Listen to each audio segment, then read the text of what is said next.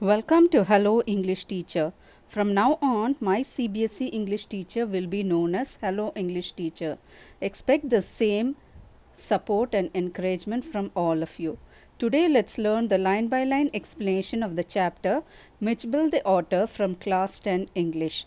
If you're watching my video for the first time, please subscribe. You can listen to the explanations of chapters from classes 10, 11 and 12 English.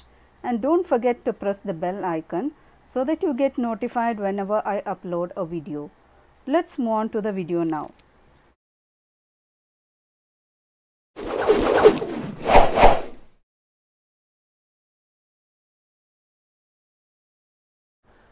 The author of this chapter is Gavin Maxwell.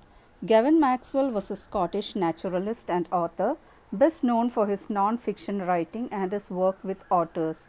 He wrote the book Ring of Bright Water about how he brought an otter back from Iraq and raised it in Scotland. So let's move on to the lesson Mijbil the otter. So in this story, the narrator is going to talk about his pet called Mijbil. And what is Mijbil? Mijbil is an otter. What's an otter?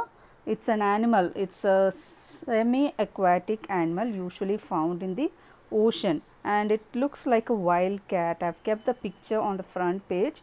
So when you look at that, you can understand what an otter looks like.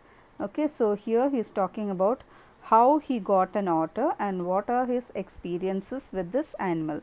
Okay, so first he had a dog. Okay, so after the death of this dog, he became very sad. He wanted to have another animal. So he then decides to keep an otter as his pet. So let's move on to the lesson. Early in the new year of 1956, I traveled to southern Iraq. So in the beginning of 1956, the narrator had traveled to Iraq. By then it had crossed my mind that I should like to keep an otter instead of a dog and that Camusfearna ringed by water a stone's throw from its door would be an eminently suitable spot for this experiment. So, what happened? His dog died and he wanted to have a pet. So, he then decided that he should have an otter. So, why did he decide on an otter?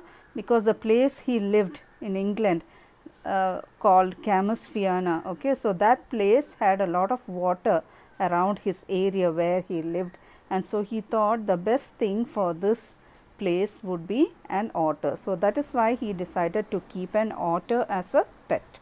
So what is eminently suitable? That is best suitable. When I casually mentioned this to a friend, he casually replied that I better get one in the Tigris marshes for these for there they are they were as common as mosquitoes. So he told about his wish to his friend. So what was his wish? To have an otter as a pet. So when he told his friend, his friend told him that you can get a lot of otters from the Tigris marshes. What is Tigris? It is a river in Iraq. So marshy area is where there is lot of what muddy area, watery area. There are lots of plants and all that. So if you go to that area, you can get a lot of otters because otters were like mosquitoes in Iraq and were often tamed by the Arabs and the Arabs like to tame or like to domesticate the otters. So, we were going to Basra to the consulate general to collect and answer our mail from Europe. So, what happened? He had some work, he had to go to Basra and he had to go to the consulate general there so that he could answer his mail. So, in those days remember it was in the 1950s. So, they had to go there regarding their work they had to get some mail and answer it. So, they had to go to the headquarters in Basra. So, he said that anyway he had to go there. So, he would be able to find these otters there. So, where is Basra? Basra is a city in Iraq. So, at the consulate general we found that my friend's mail had arrived but that mine had not. So, when they went to the consulate general, his friend's mail had arrived, but he did not get his mail. The narrator did not get the mail. I cabled to England and when three days later nothing had happened, I tried the telephone. So, he had to give some message back home. So, he tried to cable England. So, it is something like the telegram. So, he had to cable England, but then I, even after 3 days he did not get his mail. So, what did he do? He tried to contact his office by the using the telephone. The call had to be booked 24 hours in advance. So, in those days you cannot call especially long distance call to different countries, you cannot call as you do it today, you had to book your call at least 24 hours in advance. So, similarly he also booked his call in advance. On the first day the line was out of order, on the second the exchange was closed for a religious holiday. So, he was not able to call for 2 days because first day the line was not proper and the second day it was a holiday because of some religious festival or function. On the third day there was another breakdown. So, on the third day also he could not contact office. My friend left and uh, arranged to meet him in a week's time. So, his friend was there with him. He left because his job was done and he still uh, the narrator still finished didn't did not finish his. So, he left and they both promised to meet after a week. 5 days later my mail arrived. So, what happened after 5 days the narrator got his mail. I carried it to my bedroom to read and there squatting on the floor were two Arabs. So, what happened? He carried his mail. So, he got his letter and then he took it to the place where he was staying because he wanted to read. But when he went to his room, what happened? He saw two Arabs were squatting on the floor. Squatting means sitting on the ground.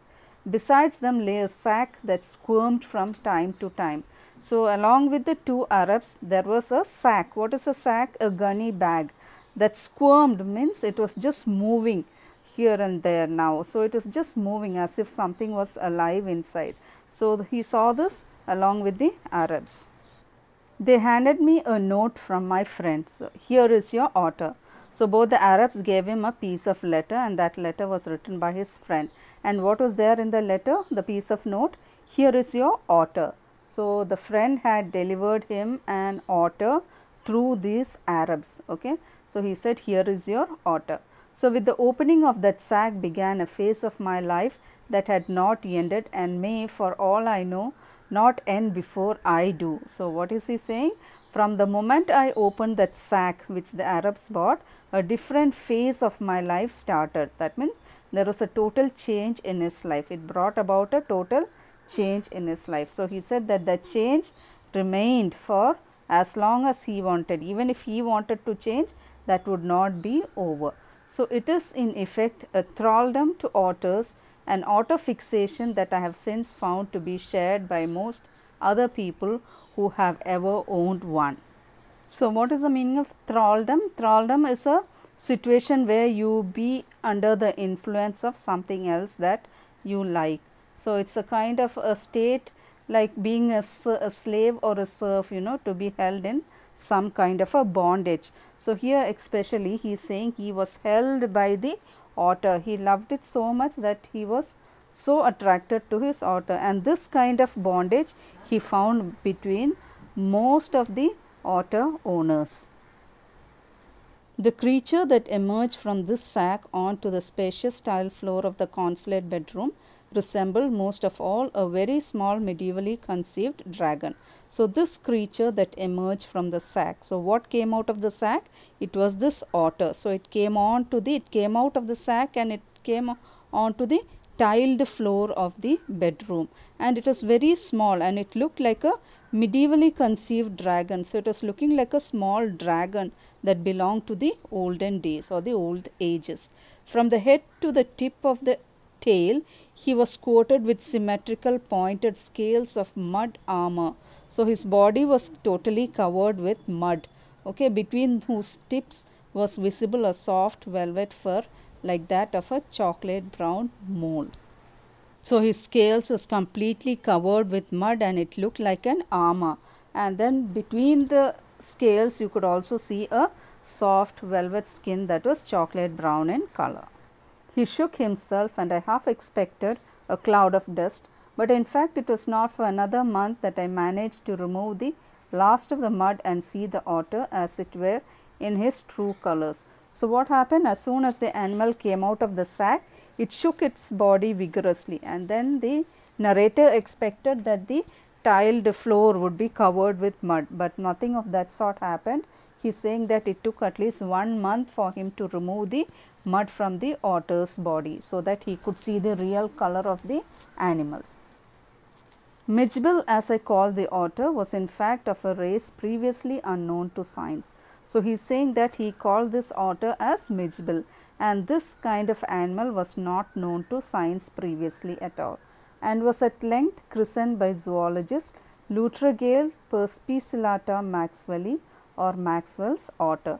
And so, he is saying that the zoologists renamed this animal as Maxwell's otter or just Lutrogale perspicillata maxwelli. For the first 24 hours, Mijbil was neither hostile nor friendly. So, when he took it home in his room, he understood that for the first 24 hours, that is for the first day, Mijbil behaved in a very different manner. He was neither friendly nor hostile. So, he did not behave like a friend nor like an enemy. Hostile means behaving in an uh, behaving with some enmity. So, he was neither friendly nor hostile. He was simply aloof and indifferent. So, the animal stayed away. It was standing very separately. It did not come and mingle with the narrator at all. Choosing to sleep on the floor as far from my bed as possible. So, the animal slept at a distance. It did not come close to the narrator at all on the first day. The second night Mijbil came on to my bed in the small hours and remained asleep in the crook of my knees until the servant brought tea in the morning. So, on the first night the animal was aloof, but what happened on the second night? It came to his bed during the small hours. What is small hours? The initial hours after midnight. So, it came to the narrator and slept in between his knees. So, till the servant brought tea in the morning. And during the day he began to lose his apathy. What is apathy? Enthusiasm. So, the animal did not have any enthusiasm in the morning and take a keen, much too keen interest in his surroundings. So, he did not have any interest and did not take any interest in the surrounding at all. I made a body belt for him and took him on a lead to the bathroom where half an hour he went wild with joy in the water. So, what happened? He made a belt for this animal and he took him to the bathroom and in the bathroom the animal was so happy because he saw water plunging and rolling in it, shooting up and down the length of the bathtub under water and making enough slosh and splash for a hippo. So, the animal was so excited to see water, it started playing and splashing all around the water from the bathtub. This I was to learn is a characteristic of otters. So, what is the characteristic of otters? Playing with water, being happy when they see water. Every drop of water must be so as to speak extended and spread about the place. So, he is saying every drop of water should not be wasted. So, the animal does play with every single drop of water.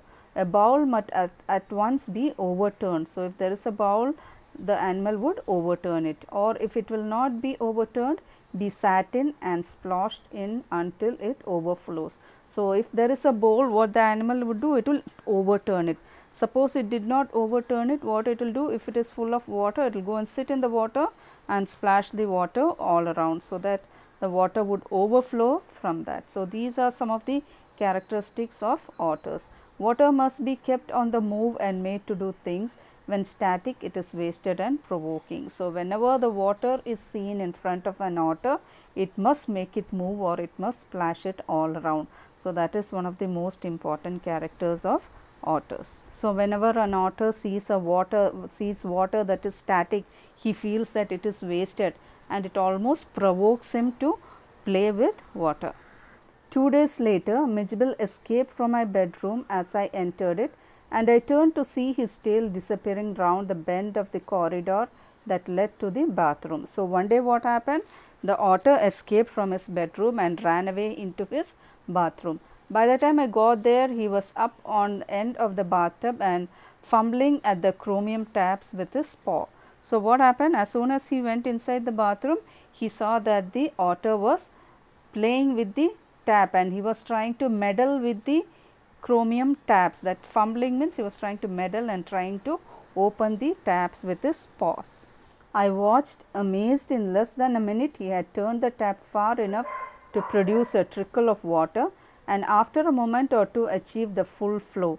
So, he saw how the otter was trying to open the tap and within minutes he was able to open the tap fully and lot of water was flowing from it. He had been lucky to turn the tap the right way or on later occasions he would sometimes screw it up still tighter chittering with irritation and disappointment at the tap's failure to cooperate. So, the narrator says that this time the otter was lucky because he had turned the tap in the right direction so that it opened. Sometimes what happened he turned it the other way and at that time the, would, the tap would become tighter and the animal would make some noises due to irritation. Very soon Mijbil would follow me without a lead and come to me when I called his name. So, now after a few days they both became quite friendly. So, whenever the narrator called him by its name he would come closer to the narrator. He spent most of his time in play. He spent hours shuffling a rubber ball around the room like a four footed soccer player using all four feet to dribble the ball and he could also throw it. So, he used most of his time to play and especially he was playing around with a rubber ball as if a 4 feet football player was dribbling a ball and he would also throw it with a powerful flick of his neck to a surprising height and distance. So, with his neck he was able to throw the ball to a certain distance and height as well. But the real play of an otter is when he lies on his back and juggles with small objects between his paws. So, he says that playing with the ball is not his real game. What he really plays in a very interesting way is juggling small objects by lying on its back. The animal lies on its back and with its paws it juggles small objects. Marbles were Midge's favorite toys and his pastime. So, Mijbil liked to play with marbles also. He would lie on his back rolling two or more of them up and down his wide flat belly without ever dropping one to the floor. So, what would Mitch do? He would lie on his back and he would like to roll two or more marbles on his belly and the marbles would never fall to the floor. So, he used to like to roll these marbles in this manner. The days passed peacefully at Basra, but I dreaded the prospect of transporting Midge to England and to Camusfearna. So, what happened? He says the days at Basra was quite peaceful. He was happy with Mijbil. But then he started fearing how he is going to transport Midge to England and then to Camusfearna where he had lived. The British airline to London would not fly animals. Why he feared? Because he had to take the British airline to London. But then this British Airlines does not allow to carry animals. So, I booked a flight to Paris on another airline and from there to London. So, what he had to do? He had to book a flight to Paris and from there he would go to London but because those flights might allow him to carry his pet. The airline insisted that Midge should be packed into a box not more than 18 inches square to be carried on the floor at my feet. So, that airlines that is how he is going to fly to Paris. So, that airlines told him he can carry his pet, but then the pet should be put into a box which is 18 inches square and that floor and that box should be kept near his feet. I had a box made and an hour before we started I put Midge into the box so that he would become accustomed to it and left for a hurried meal. So, he made a box of the measurement and he put Midge into the box so that it would get used to the box and then he went to have his food. When I returned there was an appalling spectacle. So, after having his food when he returned he saw something shocking. Appalling means shocking. There was complete silence from the box. Actually he had put Midge in the box so naturally there should be some noise but then it was completely silent. But from the air holes and chinks around the lid blood had trickled and dried. So, what was shocking when he saw was that the box had some holes because Mitch had to be uh, breathe and then when he saw the box he saw that from the holes and other openings of the box blood had oozed out and then it had dried also. So, this was quite shocking to him. So, I hope you liked today's video. Let's look at the next part of this lesson in my next video. For more informative videos, do subscribe to Hello English Teacher. Like, share and give your valuable comments below. Thank you for watching.